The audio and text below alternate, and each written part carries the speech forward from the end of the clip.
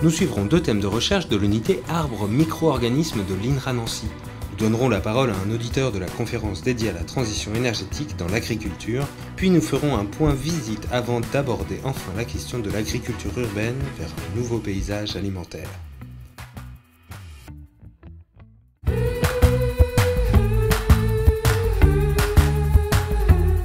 On travaille sur l'intervention entre les arbres forestiers et les micro-organismes, champignons et bactéries. Et nous, plus particulièrement sur cette animation, on présente les champignons qui vivent en symbiose, donc en interaction positive avec les arbres. On fait voir entre autres sous la loupe des racines qu'on a pris sur euh, ce charme. Et sur ces racines, on peut voir le champignon, dans ce cas-là la truffe, qui fait une, une interaction qu'on appelle une mycorhize, c'est-à-dire que le champignon s'enroule autour de la racine, il va rentrer à l'intérieur de la racine et il va faire euh, des échanges avec la plante, c'est-à-dire qu'il va lui donner de l'eau, de l'azote, du phosphore, et en contrepartie, la plante va lui donner du sucre. Donc c'est une symbiose à bénéfice réciproque. Et ce qui est important de savoir, c'est que tous les arbres forestiers, hein, dans la nature, dans la forêt, vivent en symbiose avec des champignons symbiotiques. Alors euh, ici on travaille sur la rouille du peuplier qui est une maladie du peuplier euh, et on étudie euh, comment le champignon responsable de cette maladie est capable de contourner les gènes de résistance qui ont été déployés en populiculture. Vous voyez que la feuille porte des milliers de pustules et il faut voir que chaque pustule est un amas de spores de rouille du peuplier qui produit des milliers de spores par jour et ces spores sont disséminés par le vent et vont aller infecter d'autres peupliers, c'est ce qui crée des épidémies.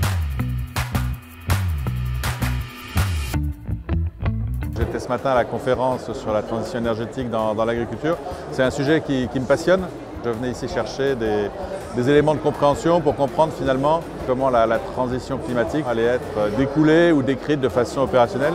Et il y a vraiment plein d'éléments très intéressants ce matin.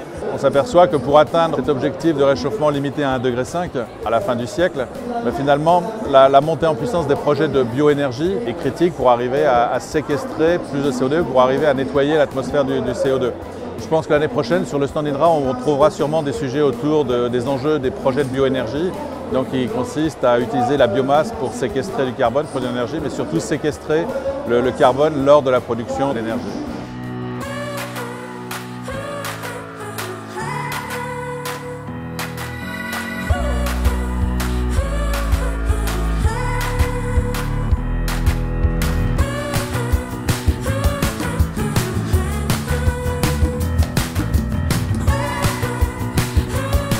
Dans les rencontres, on s'est intéressé euh, à l'agriculture urbaine.